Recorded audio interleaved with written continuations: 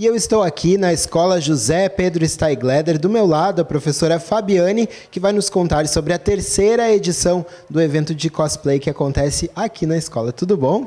Tudo bom, boa tarde. Esse evento começou há três anos atrás com um projeto de português, onde eu tinha cinco turmas de sextos anos. E nesse projeto era sobre HQs.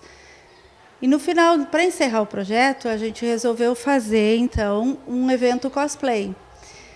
Foi um sucesso tão grande que toda a escola gostou e todo mundo quis participar, não apenas os sextos anos.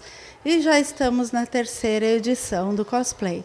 É muito divertido, é uma festa diferente, onde a galera participa, busca. Uh, caracterizações inusitadas, eles buscam conhecimento em animes, em HQs, em filmes. Isso interage com outro mundo que eles talvez não teriam acesso se não tivesse o projeto do cosplay. Que legal. Bom, e existe também uma premiação, é isso? Com certeza. Uh, os cosplayers podem participar de uma competição, tem alguns que se inscrevem para participar da competição e nessa competição a gente os premia com uh, um troféu. O que dia que vai acontecer e horário?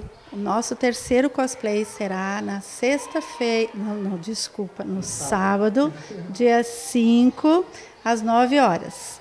Quem quiser participar, venha caracterizado com algum personagem de sua preferência e venha aqui fazer alegria na nossa festa. A escola sempre faz questão de fazer coisas diferentes, onde a gurizada tem umas, umas novidades, né? Educação é isso.